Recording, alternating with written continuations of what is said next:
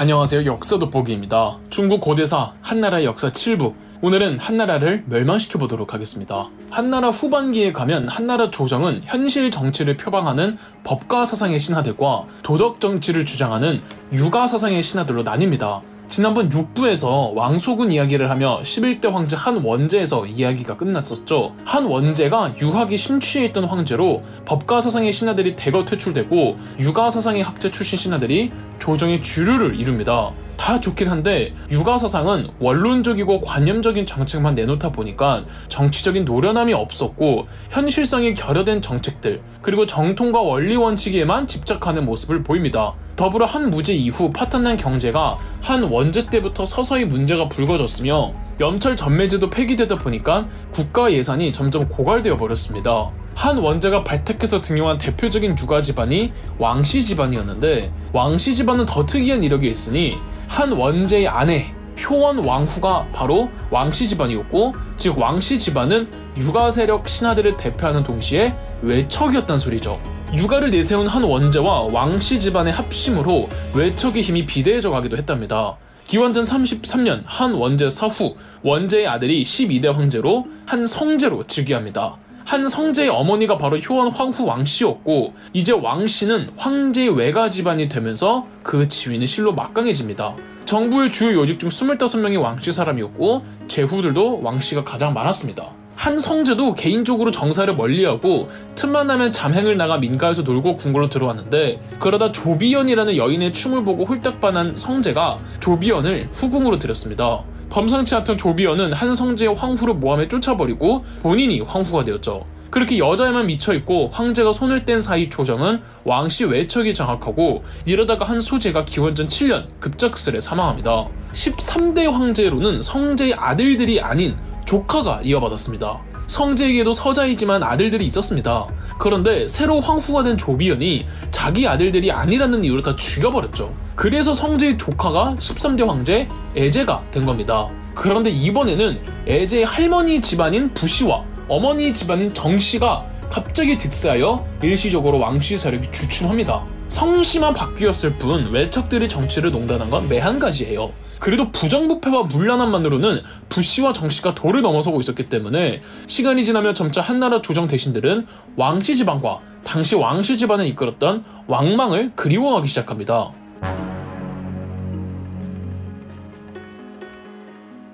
왕망은 효원 황후 왕씨의 조카로 왕씨 집안에선 약간 비껴나 있던 아웃사이더 같은 존재였습니다. 그래도 왕씨 집안의 위세가 하늘을 찌를 때 관직 생활을 시작했는데 다른 왕씨 사람들에 비해 왕망은 워낙 겸손하고 성실하고 공손하고 검소해서 평판이 좋았습니다. 심지어는 유학에 관해선 통달을 했었기 때문에 명민왕과 박학대식으로 금세 이름을 알릴 수 있었습니다. 왕씨 집안에서도 이런 왕망을 상징적인 인물로 내세웠고 높은 관직에 올라서도 왕망은 평소 행실에 변하는 거 없이 일처리를 깔끔하게 하고 인사 채용에 있어서는 공정한 입장을 취하려고 했죠.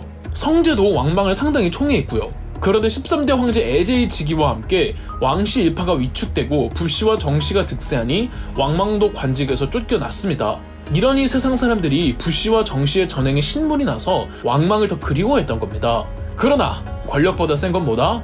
세월이다. 에제의 할머니와 어머니도 나이가 들어 병사하자 에제는 왕망을 지지하는 여론을 살피고는 기원전 5년 왕망을 재등용합니다. 그런데 기원전 1년 에제가 급사합니다. 그렇다면 후계가 가장 예민한 사안이 되겠죠. 당시 왕실의 가장 큰 어른이었던 왕씨 세상을 만들고 외척을 시작시켰던 태왕탱후 왕씨 자기 반대편 여자들인 부씨와 정씨도 없는 마당에서 태왕태후 왕씨가 빠르게 옥새를 수중에 넣고 황실 사람이든 신하들이든 왕씨의 반대 세력들을 전부 제거해 나갔습니다. 그리고 동시에 왕망에게 절대적 권한을 하사해 주었죠. 후계는 먼 황족을 데려와 14대 황제 평제로 추대했습니다. 이미 황족들이 그다지 많지 않았고 평제는 나이도 어리지만 본디 황제가 될 서열에서 한참 떨어져 있던 황족이었던 만큼 정치에 관여하지 않았으며 국가의 대소사들은 전부 왕망이 관할하였습니다. 혹시 새로운 황제의 등극과 더불어 새로 즉위한 평제 외척들이 또 왕씨와 대적할까봐 그쪽 외척들도 왕망이 전부 손봐줍니다. 평제는 왕망의 딸과 혼이 납니다. 이제 왕망은 황제의 장인어른이 된 거죠. 오로지 왕씨의 세상이었고 한나라는 왕망의 것이었습니다. 서기 6년 평제도 16살의 나이로 사망합니다. 연이어 황제들이 요절하니 황족들이 얼마 없었고 왕망은 두 살짜리 황족 유자영을 15대 황제로 추대합니다만 왕망의 호칭이 황제 폐하만 아니었을 뿐 행실과 권력 모든 것들은 뭐 황제나 매한까지였습니다. 왕망 스스로도 본인을 가황제, 섭황제라고 불렀습니다.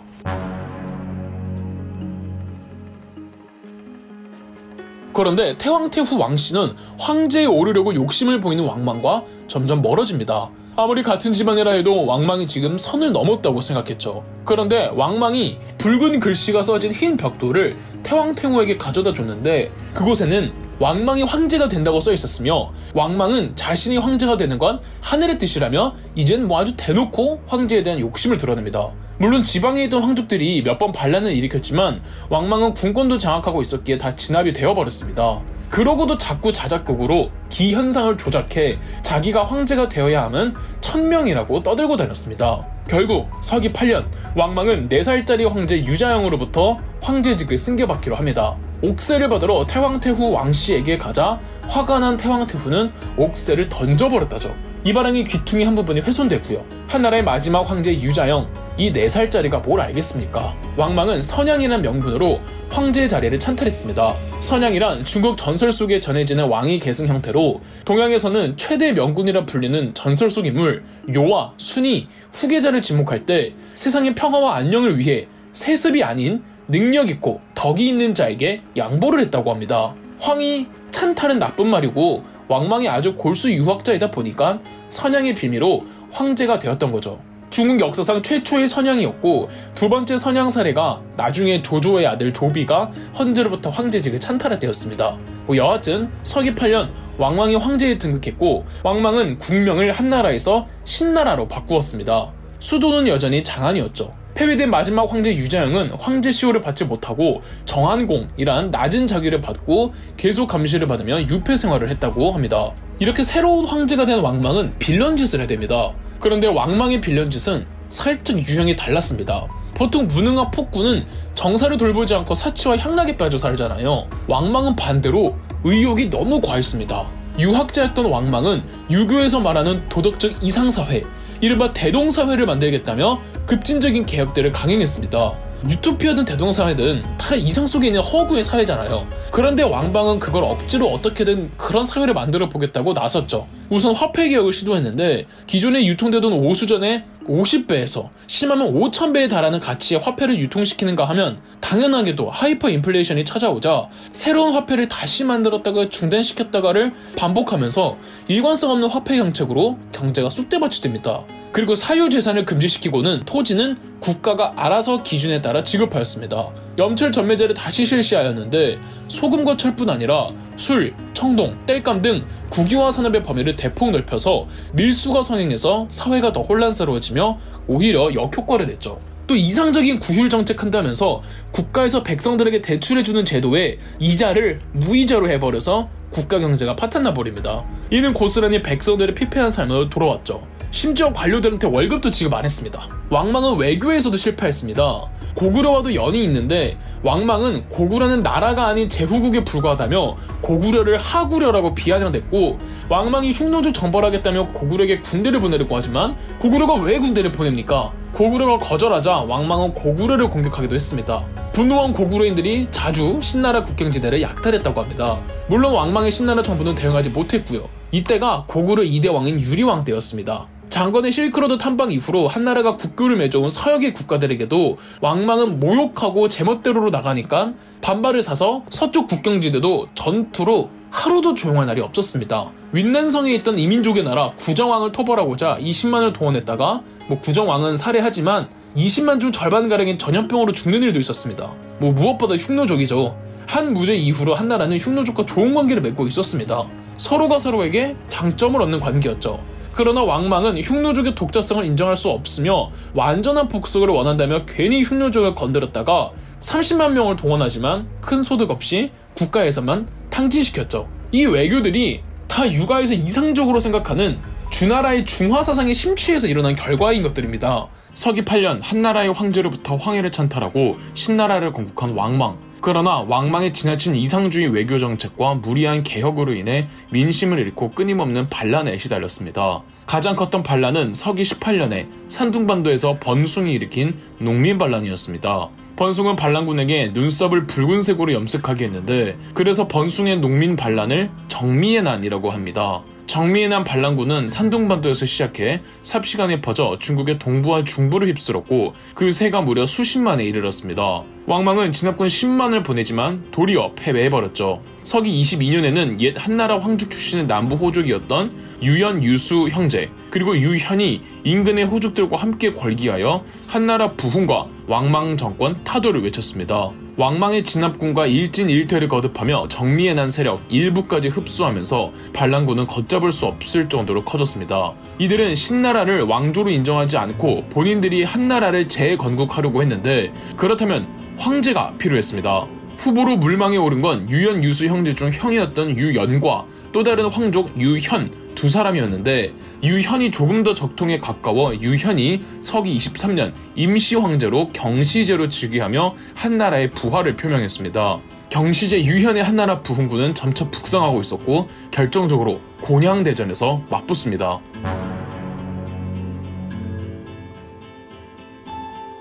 한나라 부흥군의 간부들은 곳곳에 요충지들을 장악하고 있었는데 그중 지금의 중국 허난성 부근 곤양이란 곳엔 유연 유수 형제 중 동생이었던 유수가 지키고 있었습니다. 왕망은 왕읍을 총사령관으로 삼은 진압군 무려 42만 명을 동원했습니다. 이 42만 명의 신나라 군대는 곤양부터 공격하기로 하고 진군을 했는데요. 곤양성에서 유수가 보유하고 있던 군대는 고장 1만, 도저히 싸워서 이길 수가 없었습니다. 곤양성에 있던 유수는 1만의 군대로 싸울 수 없다며 지원병을 데려오겠다고 했고 12명의 부하들과 본인까지 합쳐서 총 13명만으로 성문을 열고 나가 42만의 포위를 뚫고 구원병을 찾아 나섰습니다. 그 사이 곤양성은 신나라군의 맹공에도 겨우 겨우 버티고 있었습니다. 구원병을 찾으러 떠난 유수는 그렇게 큰 병력을 모진 못했습니다. 다들 42만의 대규모 군대를 무서워했죠. 언제까지 시간을 끌 수 없었던 유수는 그나마 모은 3천 병력을 데리고 곤양성으로 돌아가기로 합니다. 그러나 이미 곤양성은 포위되어 있는 상황에서 유수는 목숨을 걸고 3천을 이끌고 그냥 돌파하기로 합니다. 왕읍은 부사령관 왕심에게 1만의 병력으로 유수의 3천 병력을 맡게 했는데 왕심은 전투 도중 전사합니다. 부사령관급이 죽자 신나라군은 우왕좌왕했고 이 사이에 유수는 3천 명으로 적진을 휩쓸어버리며 적당히 부대의 대우를 흐트러버리니까 오합지졸이었던 신나라 군대는 그대로 싸우지도 않은 채 도망가 버립니다. 오히려 도망가다가 강물에 빠져 죽은 수가 굉장히 많았다죠. 이렇게 유수가 엄청난 대승을 거두었고 42만은 신나라의 주력 부대였기 때문에 이 부대가 어이없이 와해되면서 신나라군은 병력 자체가 없어져 버립니다. 이 전투가 곤양대전입니다. 경시제는 기세를 몰아 그대로 신나라의 수도 장안으로 진격해 포위합니다. 왕망은 끝까지 버티지만 장안 내 민심이 워낙 왕망에게 안 좋아서 백성들이 직접 성문을 열었고 한나라군은 그대로 장안으로 들어와 점령합니다. 궁궐에 있던 신하들과 장수들 전부 항복해버리고 왕망은 사흘간 항전하던 중 부하들에게 피살되고 시체가 갈기갈기 찢기며 끔찍한 결말을 맞았습니다. 서기 23년 이렇게 신나라는 멸망했고 고작 15년간 황제 한 명뿐이었던 신나라는 중국 역사상 최단기 왕조로 끝이 나버립니다. 그리고 경시제가 한나라의 부활을 선포했습니다.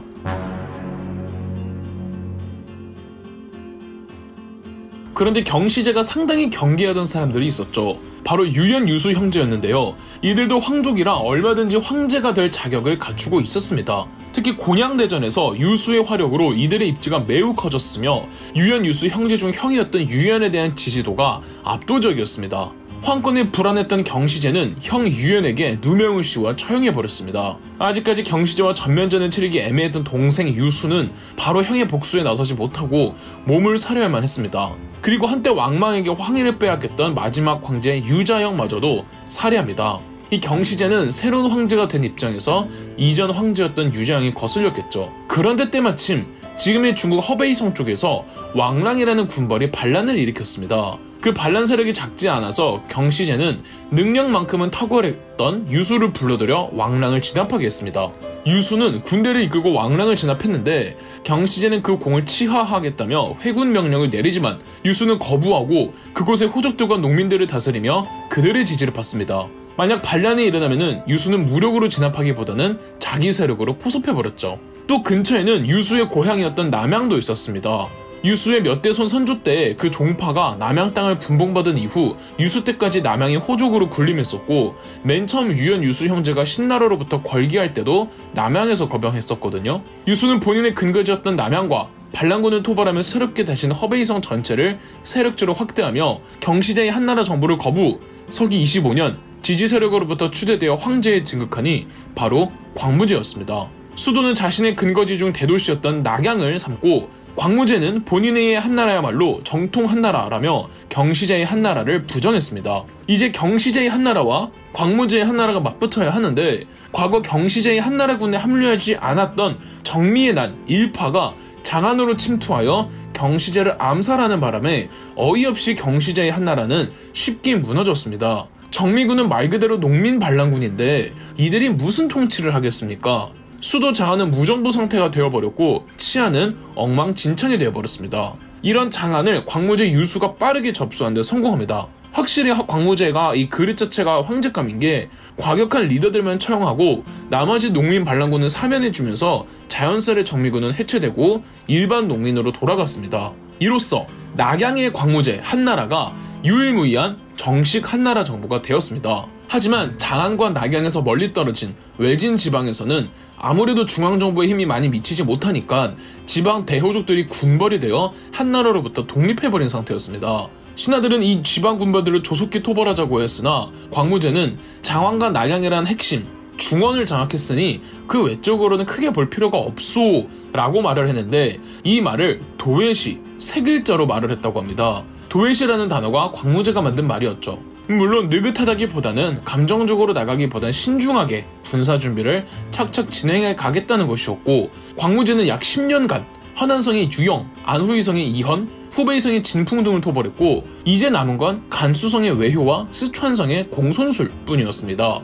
먼저 간수성의 외효를 토벌하는데 이제 남은 건 스촨성의 공손술 하나인 상황에서 광무제는 겉으로는 큰 욕심이 없다는 겸손함을 내비추기 위해 이런 말을 했다고 합니다. 당시 간수성을 농이라고도 별칭으로 불렀는데 외효가 다스리던 농땅을 얻었는데 또 공손술이 원하던 촉을 원하느냐며 인간의 욕심은 끝이 없다는 점을 지적했는데 여기서 유래한 사자성어가 득농 망촉입니다. 당연히 겉으로만 그럴 뿐 광무제는 공손술을 손볼 생각이었고 서기 37년 공손술을 끝으로 쓰촨성까지 점령하며 마침내 중국 재통일 대업을 완수합니다. 이런 거 보면 광무제는 속으로는 욕심 덩어리지만 겉으로는 욕심 없는 척 깨끗한 모습의 이미지 메이킹을 잘했던 황제였던 것 같네요. 이로써 광무제가 한나라를 부활시켰습니다. 중간에 왕망이 신나라를 건국하며 한나라의 맥이 단절되었는데 그래서 신나라 이전에 한나라를 전한 신나라 이후에 한나라를 후한이라고 부릅니다. 광무제가 후한의 초대 황제였죠. 광무제는 굉장히 유능한 황제로 신나라 왕망에 의해 어질러졌던 국가제도를 전부 다시 전한 때의 제도로 돌려놓았습니다. 왕망 때 시행됐던 비현실적인 제도들 전부 철폐되었고 백성들 세금을 감면해주며 징병제를 모병제로 바꾸며 군역의 부담도 덜어주었죠. 오수전도 제바랑의 화폐를 오수전으로 통일해 화폐 제도도 원상복구하고 왕망 때문에 단절되어 있었던 고구려와도 국교를 회복합니다. 당시 고구려의 왕은 3대왕 대무신왕이었죠. 광무제의 연호가 건무였는데 그래서 광무제의 치세를 건무 성세라고도 합니다. 이런 광무제는 재위 33년 만인 서기 57년 사망합니다. 어, 한구조 유방에 밀려 광무제의 인지도가 그렇게 높지는 않은 것 같은데 광무제도 한나라 역사 통틀어서 입지 전지적인 인물이랍니다. 그럼 역사 돋보기였습니다. 영상 재미있으셨다면 구독과 좋아요, 알림 설정까지 해주시면 감사드리겠습니다.